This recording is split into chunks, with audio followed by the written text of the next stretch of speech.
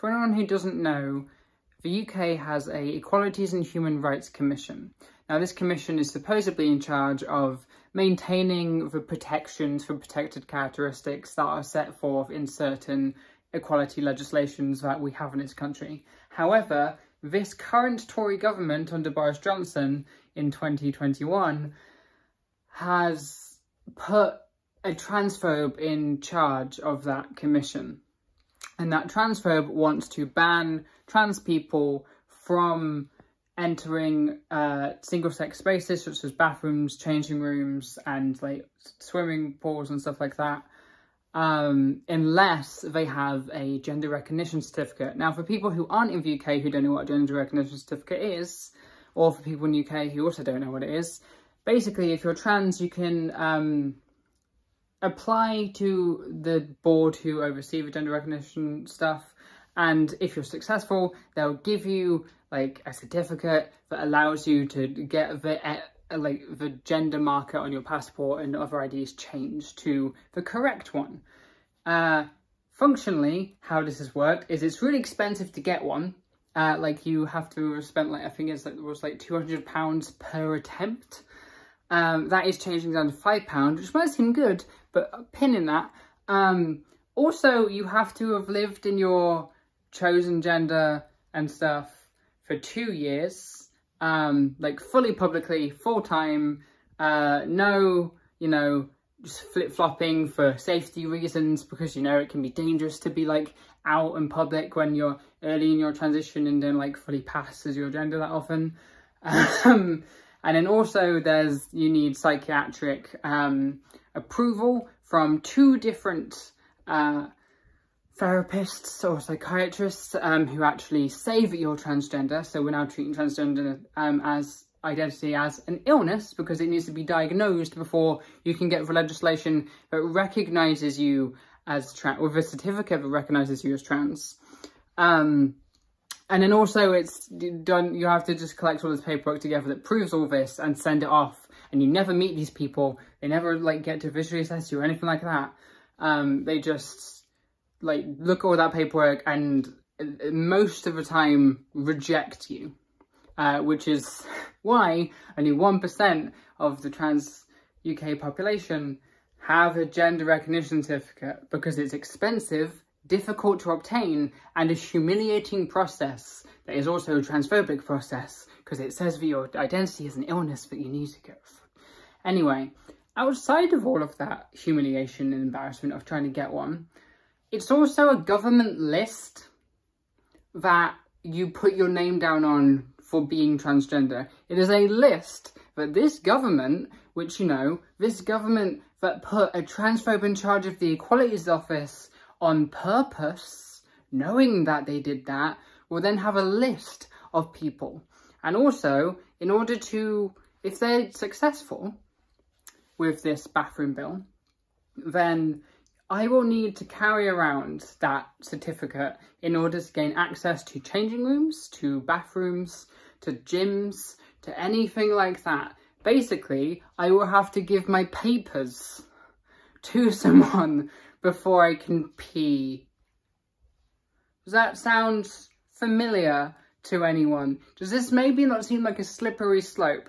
And this brings me to a daydream I just had, or a day nightmare I just had uh, a daymare, if you will, uh, where I imagined going to a public bathroom and then getting clocked as trans by a bunch of cis people who, because of the recent um, legislation, have been embiggened to be more violent towards trans people, which always happens. That always happens whenever there's legis- like for example, back in the 70s when a bunch of, when homosexual relationships were made consensual, um, and legal if you're above 21, uh, there was a spike in hate crimes because there's a bunch of, like, you know, publicity on trans, on gay men.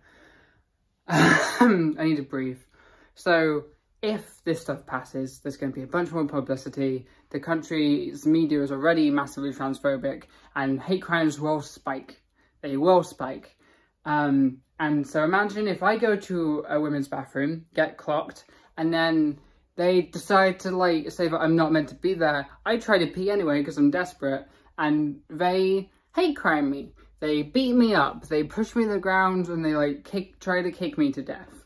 Um, then I survive and, you know, the cis people in my life are like, you know, asking me what happened and all of that, and I explain, they're like, but you box, you know how to do self-defense, why didn't you, like, defend yourself, why did you just take it?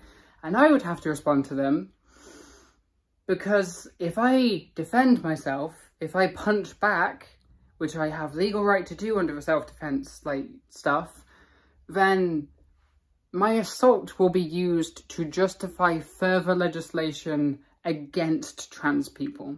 Because if I sit there and take it, no police officer's going to pay attention to, like, me getting beaten up. They're not going to do anything about it. And no, like, UK mainstream publication is going to actually say, look, that hate crime against a trans woman, that's not how this country works. They hate us. So, but if I do punch back, the headline will suddenly become transgender punches woman in woman's bathroom with the subheading uh, protection of women's spaces more um, necessary than ever. That's what would happen. So what we're leading to is a situation where I could be assaulted in just for wanting to pee and like be beaten brutally and then not be able to do anything about it in the moment or afterwards because doing so might cause further harm to my community. This is the facts of trans history in Britain. It's a person is trying to like get divorced and like keep a keep the house they live in or they're trying to like inherit money from like a, their parent who's dead now um, and then cis people around them orchestrate stuff to like make sure that like it's what whatever happens whether they win their case or not there's precedent in law to make it harder for trans people to then do stuff later and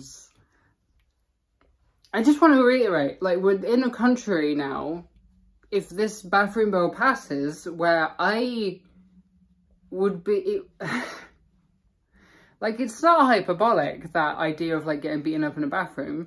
Like, I grew up in this country when queer bashing was just common. Like, I didn't go out of my house, like, because I lived on an estate, um, after certain times a day, because people always shouted gay boy at me and batty boy, and I knew that in under the cover of, like, Twilight, they would beat me to death.